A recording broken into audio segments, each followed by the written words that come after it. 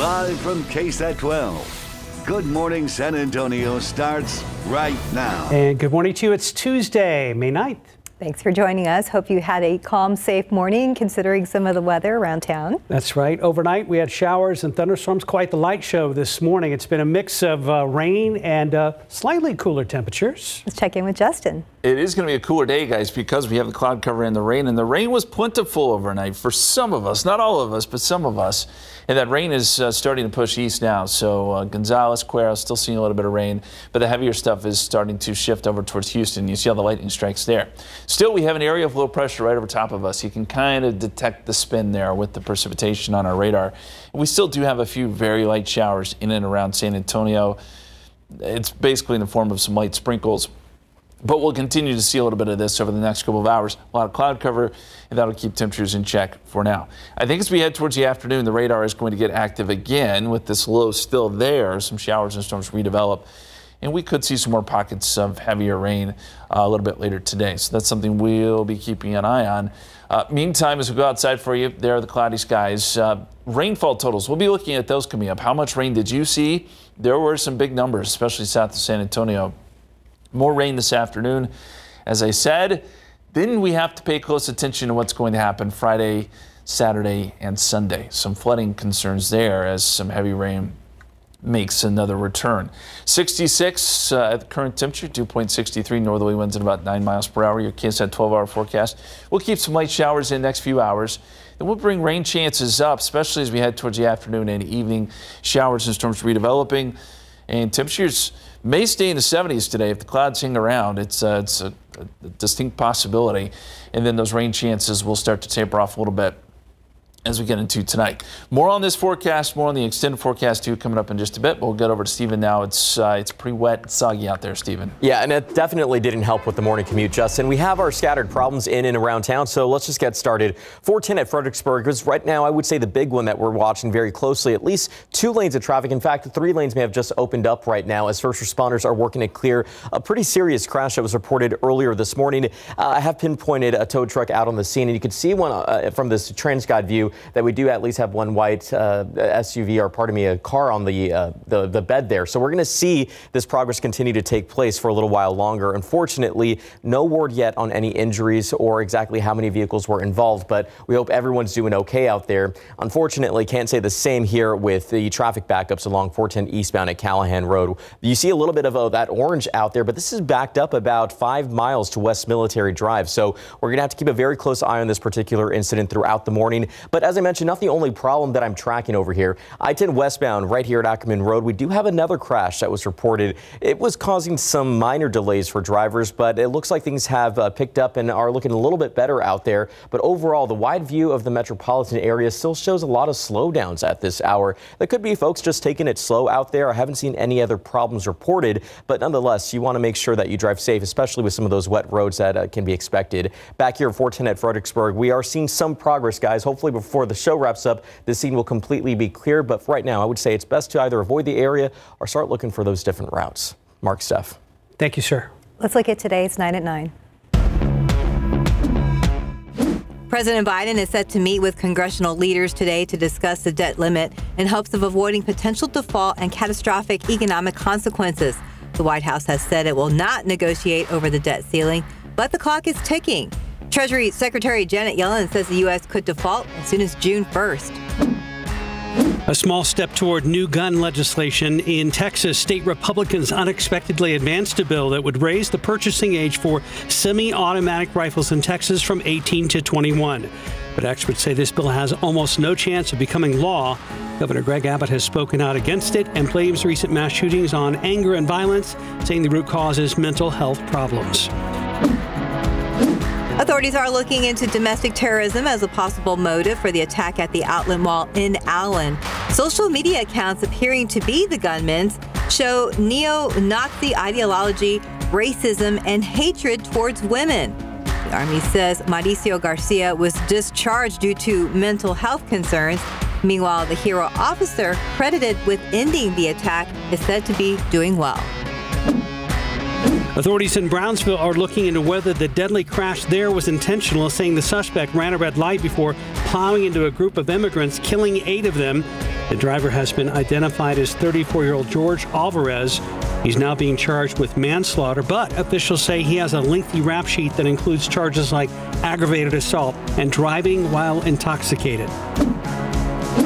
Ahead of the Title 42 expiring on Thursday, Customs and Border Patrol agents have started a targeted enforcement operation in El Paso. They will be reducing processing lanes and passenger operations at the Paso del Norte point of entry. The operation will also focus on sections of El Paso where migrants have been congregating. New data shows the number of children and teens who died from fentanyl overdoses increased 30 fold in eight years.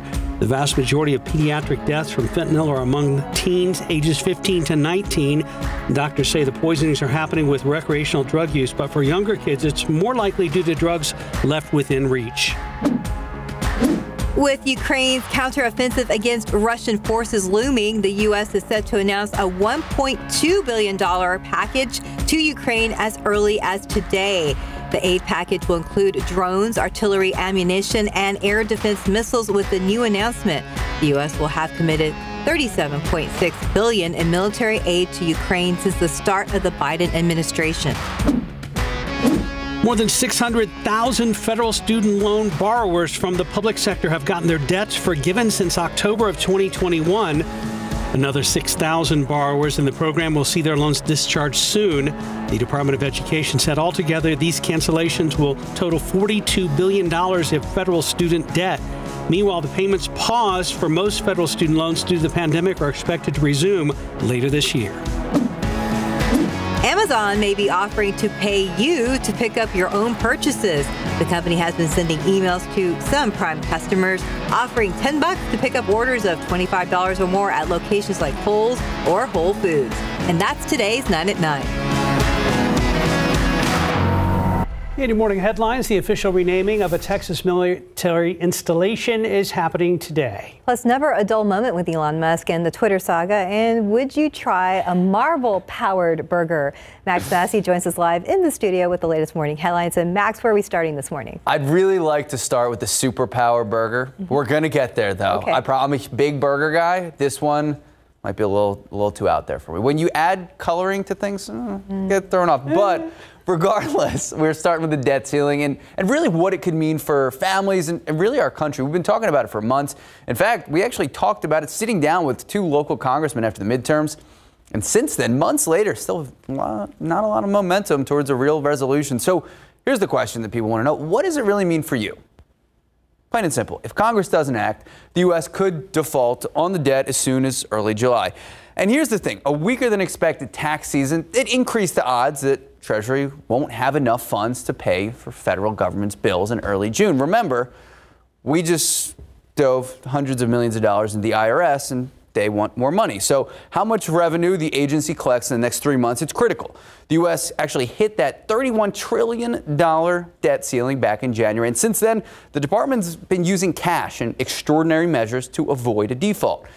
Putting it plain and simply, Moody's says if we default, then you know, close to a million jobs we lost, including the financial sector. It would decimate the stock market, and unemployment would jump to about 5%. While all of this is happening, the American people not really showing a lot of confidence in our leaders like Janet Yellen you see on your screen. So a new poll finding Americans aren't confident in our leaders, and especially when it pertains to the economy. Now, right now, according to the latest Gallup survey, nearly half of Americans almost have no confidence in President Joe Biden's ability to do or recommend the right thing when it comes to our nation's finances. Now, back to Texas. Well, it's a change we've been talking about for a while now. Today, Fort Hood here in Texas, named after a Confederate general, it is officially being renamed after the Army's first Hispanic four star general. Take a look. So the base will be redesignated today as Fort Cavazos in honor of General Richard Edward Cavazos. Now, he was born in Texas to Mexican-American parents, served in the Korean and Vietnam Wars, became a four-star general in 1982, retiring from the Army in 1984 after 33 years of service. He passed away back in 2017 in the Central Texas Post. It is just one of nine United States Army installations being renamed after the recommendations of a congressional committee set up to remove Confederate names from military bases. All right, so here's, here's a fun little anecdote. We had a tour of high school students in our KSAT studios over the weekend. Big shout out to our executive producer extraordinaire, Daniel. I wish I had a teacher like him back in high school. But here's the thing I asked them if any of them use Twitter. I'm a big Twitter guy. An astounding zero of them raised their hands. But if they set up their accounts and they haven't used them in a while, those accounts could be gone forever. Twitter plans to purge old accounts that have been inactive for years. Elon Musk announcing this plan on Twitter just yesterday, telling users that they're going to see their follower counts drop, which I know a lot of people are upset about. But the social media platform says the goal is to free up old usernames. But this announcement, like many from Twitter, drawing a lot of backlash. A lot of people concerned about what happens to accounts of those people who have died. Now, Twitter announced a similar plan back in 2019 met with the same concerns. At that time, Twitter ultimately decided to leave the accounts of passed away users untouched. Right now, still unclear what the new plan to purge inactive accounts, what that plan is going to be. All right, I know you guys have been waiting, so I'm going to tell you. There is a new burger coming to Burger King, but here's the thing, it's just a little too out there for me. Let's take a look. So with the new Spider-Man movie swinging into theaters, mm -hmm. shouts to Miles Morales, a new burger is landing. There it is, landing at Burger King. Timmy, our editor, timed it perfectly ahead of next month's premiere of Spider-Man Across the Spider-Verse. The fast food chain offering a special burger, as you see here, a red bun mm. topped with black seeds, inspired by Spider-Man's suit. So from May 15th through June 21st, Burger King customers enjoy the Spider-Verse Whopper in a variety of different combos, including a Whopper and you can put bacon on there. Now, we didn't have pictures of this, this secondary thing, but I was looking at it this morning. It is a Spider-Man sundae. Ah. Hot, hot take, cold take. See what I did there? Uh, the sundae looks a lot better than the hamburger. I so, bet. So what do you guys think? Are you are you in when they do the, these burger things? Uh, I kind of like the cup, like next to it yeah. behind you, the, the Spider-Man kept with little eyes. Oh, okay. I'll take that as a souvenir. Daughter would love it. Yeah, there one for me, one for her. I'll split the burger with anybody. I'll, I'll try it. We'll try it once. Okay, we'll you talk bet. to producers, see if we can get it on here. Okay. Live reactions. All right. Thank you, Max. Thanks, guys. Thank you. 910, 66 degrees, still ahead on GMSA at 9. Teens from the East Side Boys and Girls Club are getting a special surprise today. When we come back, Tiffany Huertas is going to give us a look at a refreshed space for them to enjoy.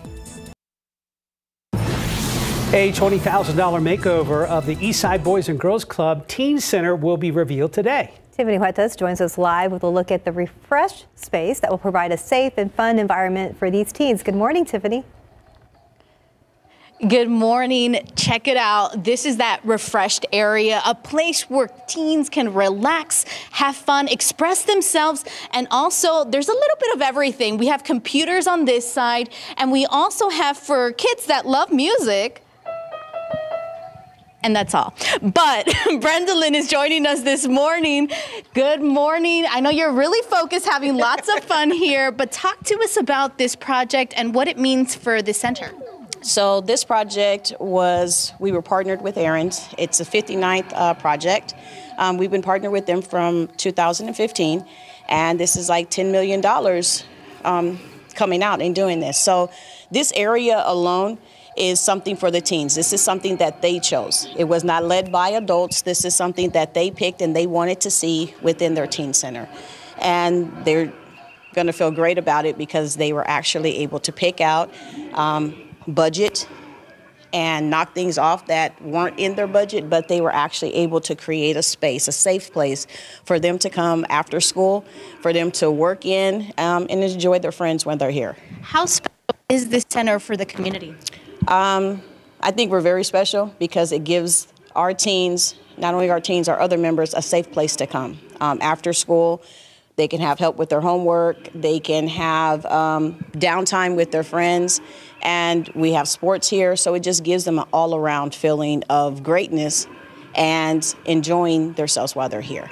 Um, and if you look around and we can walk around, there's a kitchen. So our teens like to eat after school.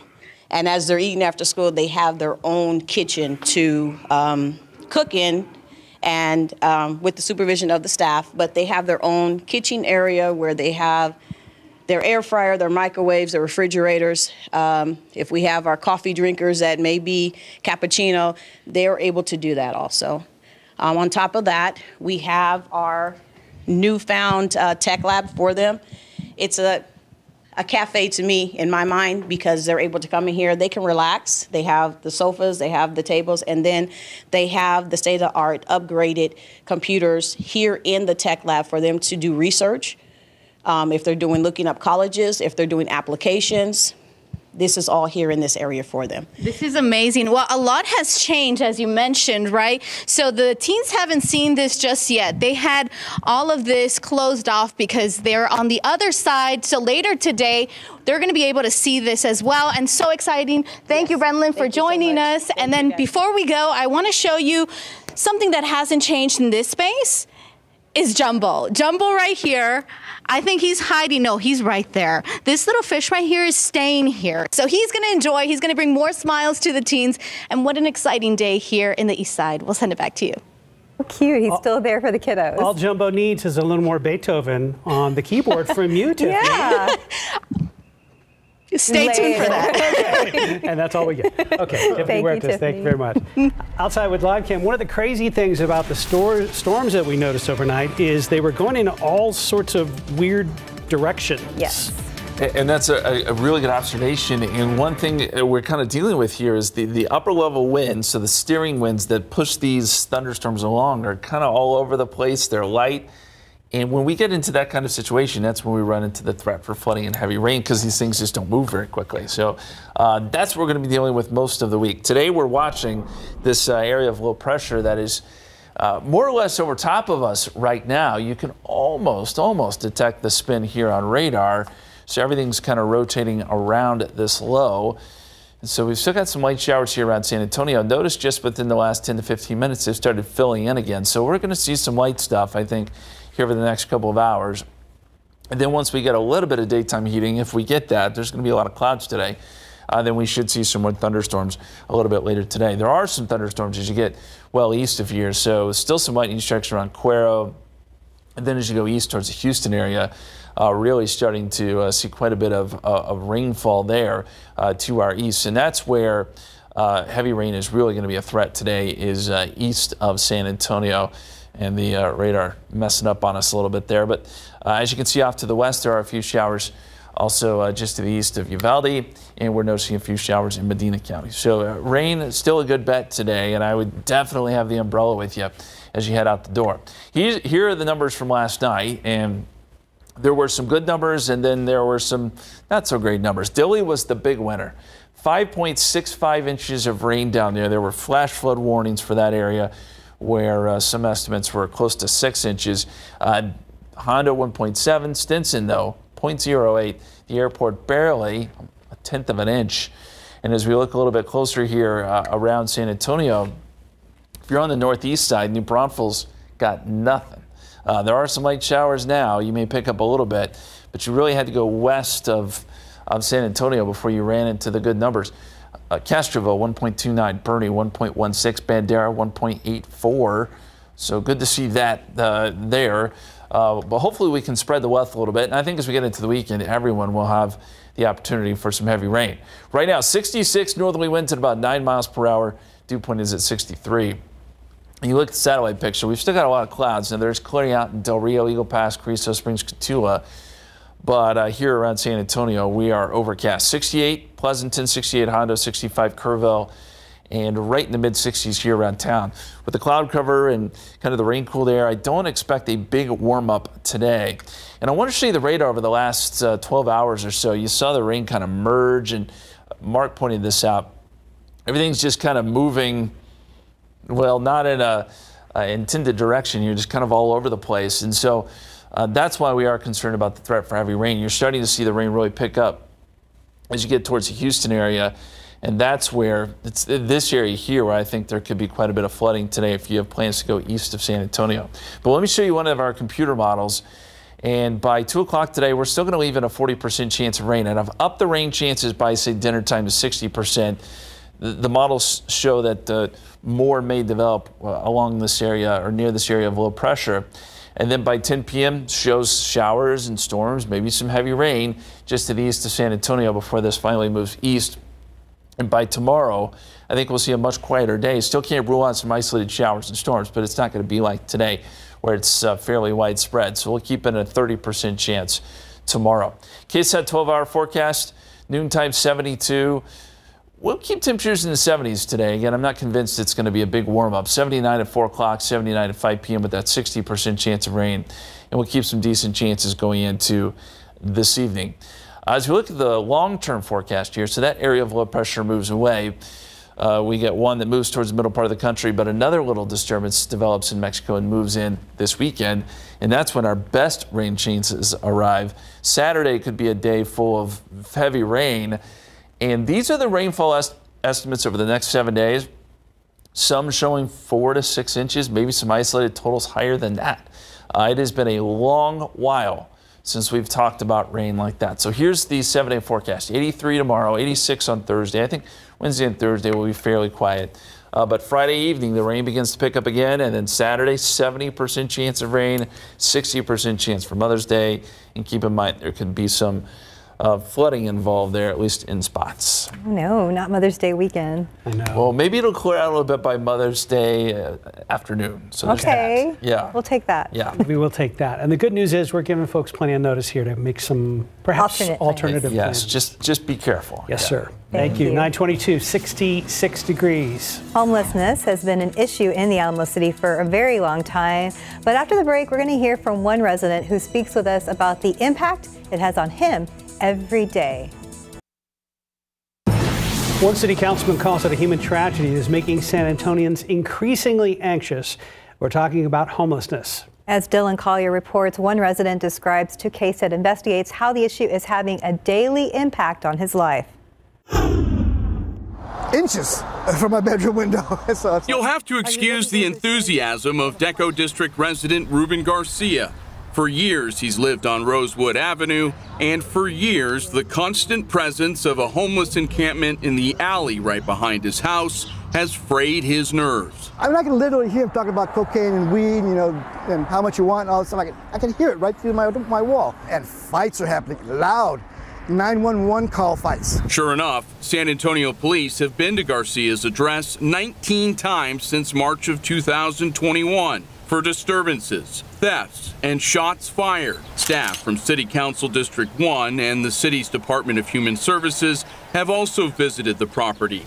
Yet the predicament persists. But this complex phenomenon now extends well beyond downtown and the surrounding neighborhoods. How many of you are crime victims?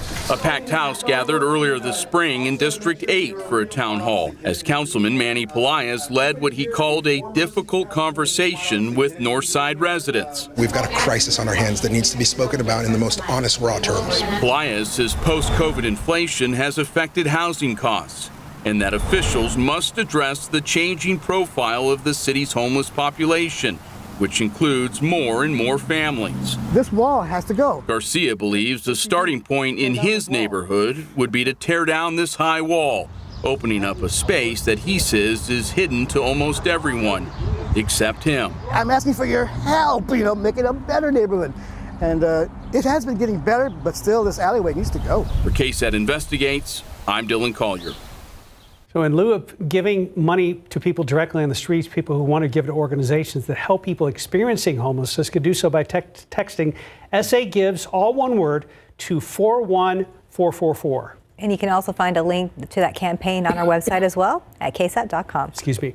927, 66 degrees. There's more ahead on GMSA at 9. Including which industries are paying more so their employees can keep up with inflation.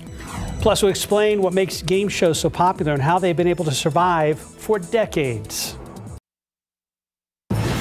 New economic data points to wages finally beating inflation as employers both add jobs and increase paychecks. But which industries are actually paying more? CNN's Cole Higgins has a closer look in today's Consumer Watch. Hiring and wages on the rise, at least for now. The latest jobs report painting a brighter picture of the U.S. labor market. Americans are starting to finally catch up with respect to wages and prices. The latest data from the Labor Department shows workers' paychecks grew in April by 16 cents to an average of $33.36 an hour. That's the biggest monthly increase since March 2022. Increasing jobs, increasing pay, meaning improvement in the cost of living crisis that too many households have had to work through over the past 24 months. Industries that are struggling to hire are handing out fatter paychecks. A recent survey from the National Federation of Independent Business found 53% of small businesses reported few or no qualified applicants for the positions they were trying to fill. According to that report, construction, transportation, and wholesale jobs are the hardest to fill right now.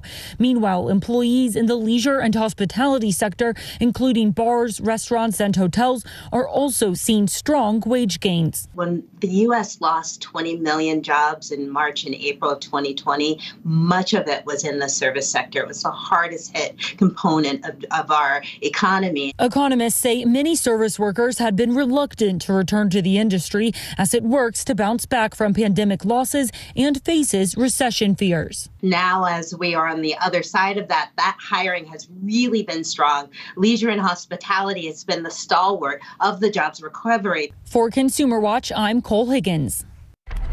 Let's look out there with live cam. Kind of an improvement from this morning, 67 degrees. Uh, still a little cloudy there. That helps out with the temperatures. Yeah, it's, it's actually going to be somewhat of a cool day, honestly. Uh, temperatures may hang in the 70s today just because of cloud cover and rain. You see it here on radar. We've got an area of low pressure over top of us. And so on the east side of it, we've got some good heavy rain. Gonzales and uh, especially as you get over towards Houston, some really good downpours. There'll be some flooding issues as you go east down I-10. But even on the back side of this low, notice we're starting to get a little more development, some light showers, and even a few downpours there in parts of Uvalde and Medina counties. So let's zoom in a little bit closer here, and I'll show you that activity.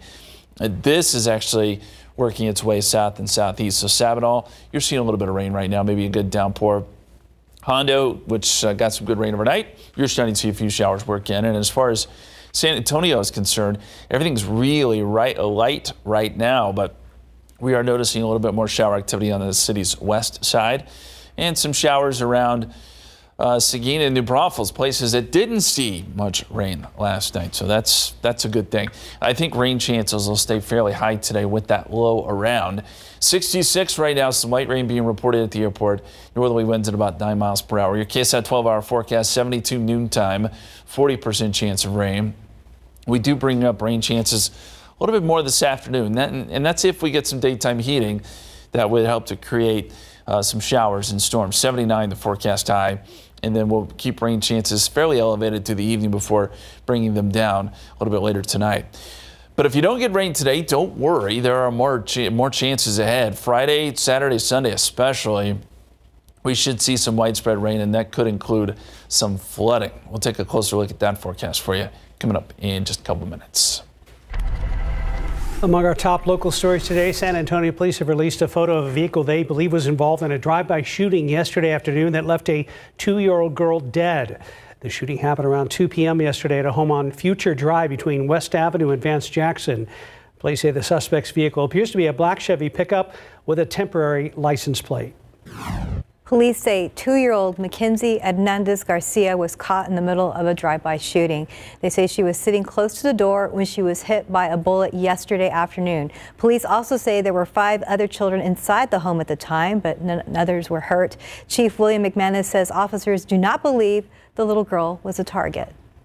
Now, if you recognize the vehicle on your screen or if you know anything about the shooting that can help police, you're asked to call the San Antonio Police Department's homicide unit. That number's on your screen, 210-207-7635. After the latest mass shooting here in Texas, Governor Greg Abbott is once again stating that more needs to be done about mental health in the Lone Star State. So what is being done on that front? RJ Marquez explains the mental health debate and where things stand today.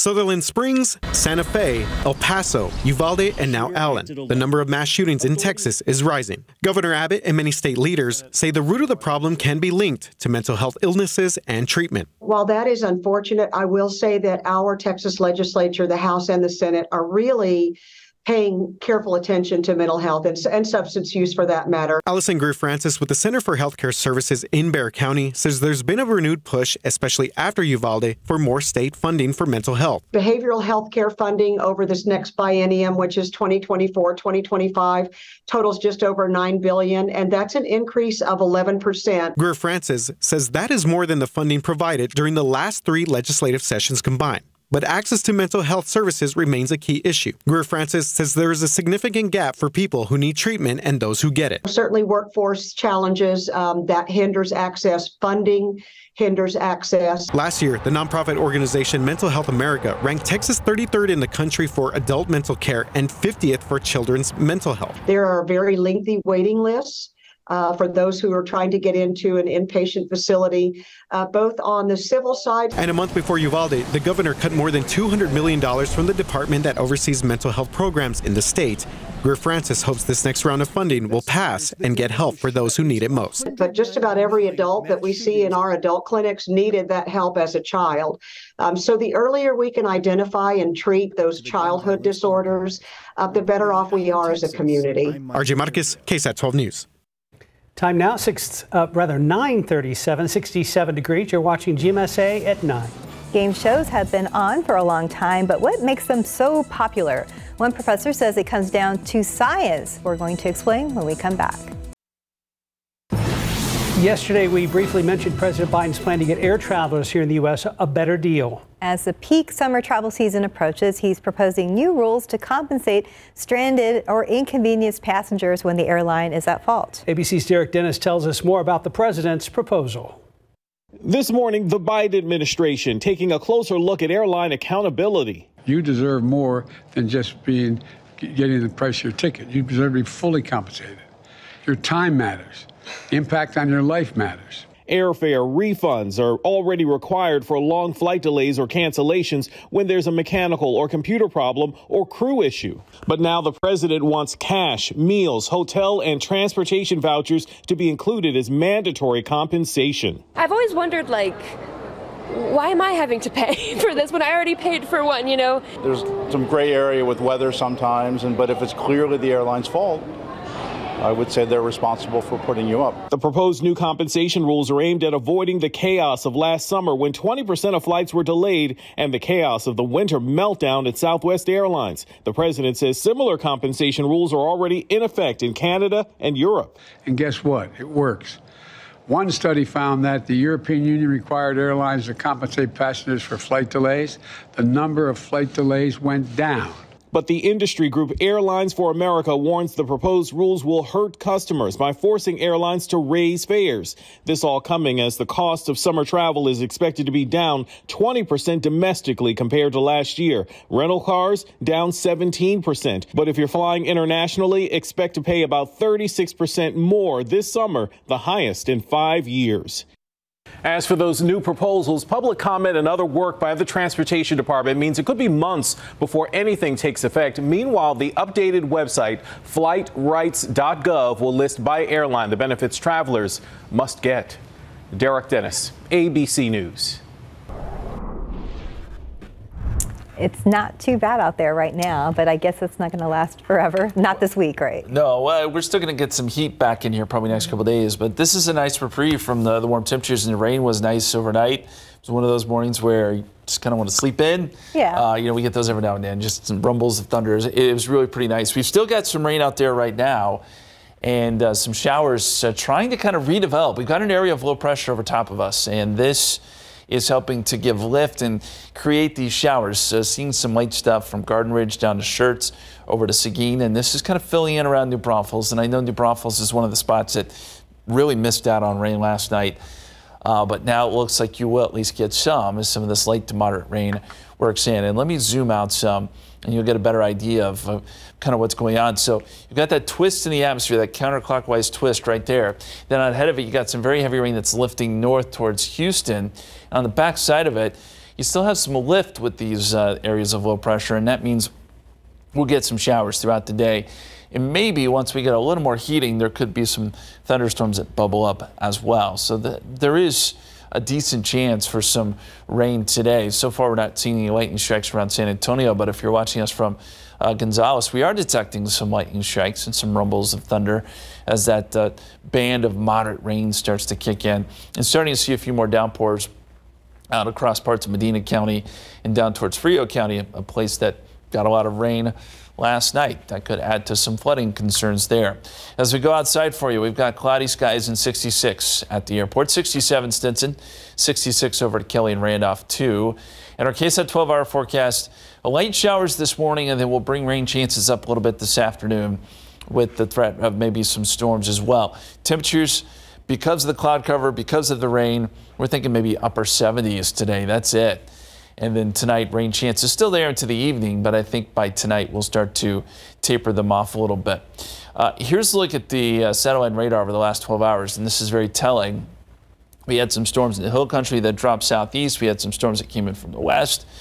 And you can see that spin sort of uh, that's there, but these storms kind of drift and they don't move really fast. And that's where you run into the risk for some flooding. Not great steering winds aloft uh, to kind of move these things along. So here's our forecast, and it does show that by 2 o'clock, there's some isolated, uh, maybe scattered showers and storms. And this model wants to pick it up a little bit by dinner time. We'll see if that pans out. But I, again, I think the risk for rain today is still there and uh, we'll put it at about 60%. As we get into tonight, the showers and storms will start to push east, and then things quiet down a little bit Wednesday into Thursday. In fact, uh, this model does not show much tomorrow. I still think we have an opportunity for an isolated storm, but the radar will be quieter as that area of low pressure moves away. As we look long term, uh, Thursday is going to be a fairly quiet day. We're kind of in between systems, but it's Friday. Another area of low pressure develops to our west and pulls in. Uh, and this looks like it'll give us a lot of lift as we get into Saturday. And that means widespread showers and storms, not just for us, but for a large portion of Texas. And this could mean some heavy rain too. I, I, think that's kind of the main concern as we get into Friday night and Saturday, showing maybe four to six inches of rain, including today's rain, but through uh, Sunday we could be talking about four to six inches of rain, maybe some isolated totals higher than that. And if it comes quickly, then yes, flooding could be a problem. Something we'll definitely keep you posted uh, with as far as that forecast goes over the weekend. 60% uh, chance today, 30% chance tomorrow, 20% chance Thursday. We bring rain chances back up, especially late Friday and Saturday is our best opportunity for rain. 70%, high of only 79. Mother's Day, I think rain early. Maybe we get a break late in the day, and then even more rain chances next week. So it's an active seven day forecast, guys. Thanks, Justin. Game shows have existed for nearly as long as broadcasting itself. First one aired in the 1940s, and since then, they've become an American primetime classic. But what makes these quiz shows so compelling, as ABC's Morgan Norwood explains, turns out there's a science to it. This is Jeopardy! From the reverse Q&A of Jeopardy! To the hangman puzzle of Wheel of Fortune. No D. Game shows have a hold on American television and its viewers. But why? Kenneth Sumner, professor of psychology at Montclair State University, says it comes down to connection. I think one of the biggest reasons is that the contestants on the game shows are very much like us in the audience. They look like us, they sound like us, they know the same kinds of things as us, so I think we can identify with them actually quite well. And once we're connected, we crave competition. A lot of game shows are actually structured that way to get you more excited and motivated to see a great finish to a game or see someone do something particularly well. And that great finish, coupled with that grand prize, tends to make us fantasize. What would I do with that money to make my life better or my loved ones' lives better? It's something about the dream of it that gets people excited about game shows. Bottom line, game shows feed our hunger for connection, competition, and camaraderie. A lot of these things have lasted for generations and generations because they are interesting and they are compelling to people. The rules are relatively simple, but it is a, a great way to kind of just relax and enjoy the game and relax and enjoy the people around you. Morgan Norwood, ABC News, New York.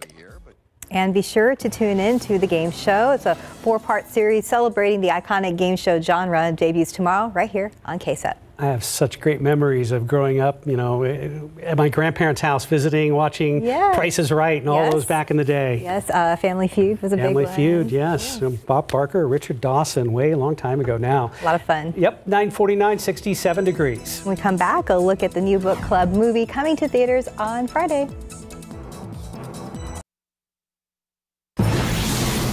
And welcome back. It's 9:53. The book club ladies are back, and wedding bells are ringing in book club. The next chapter. CNN's Rick Damigella gives us a preview of the movie, which hits theaters this weekend. A major character, especially the way it's photographed. Yeah. It's beautifully photographed and uh, just sumptuous. And, and it was a delight to be shooting in Italy for two and a half months, no less. We will have that energy, but it's Rome. So you, you get a second wind, and you know, it, you have to try the different restaurants. It was just so much fun. I like wedding veil on and a big sash across me. That was weird because we really were walking through the streets of Rome and yeah, people would would look at it. Well, this is a bachelorette party, so Okay. you know what that means. It means what's the protocol here? Where do I stuff the dollar bills? In Hollywood, I'm Rick Damigella. Okay. Tomorrow on GMSA at 9, Science with Sarah is back. Our Sarah Spivey will be out at Perales Elementary School making invisible ink with fifth graders there. And since David Sears is out for vacation, Mia Montgomery is going to join her and give her a hand. So we're going to get a closer look to the end of the school year. So only a few more experiments before the summer break happens. Also happening tomorrow, RJ Marquez is going to be chatting one-on-one with the head coach of the Arlington Renegades, Mr. Bob Stoops, longtime University of Oklahoma head coach, getting ready to take his XFL team to the championship game on Saturday right here in San Antonio at our Alamodome. So tune in for that conversation and much more tomorrow on GMSA at 9. Can't wait to see Coach Stoops. That'll be a good Yeah, one. That's a name. it is. Uh, 79 degrees today. We still got some showers on the radar, folks, and we'll see some rain throughout the day. So keep the umbrella with you. Rain chances do fall off tomorrow and Thursday, but they pick back up Friday evening, and especially as we get into Saturday, some heavy rain will be possible. You can always get that radar on your KSAT weather app, and uh, we'll alert you if anything uh, dangerous pops up. Okay, this weekend probably won't be the best time to visit the pool, but City's Parks and Rec is opening 11 pools ahead of the regular pool season on Saturday. The pools will be open from 1 p.m. to 7 p.m. on Saturdays and Sundays, and you can find out which pools will be open by visiting this web story on our website. Splash pads are also open for the season. The regular pool season will begin on June 17th. You guys know how this goes, right? Memorial Day into school, July 4th, boom, we're right into summer. It goes by really fast. It really does. Not ready. Well, here it is anyway. Have a great day.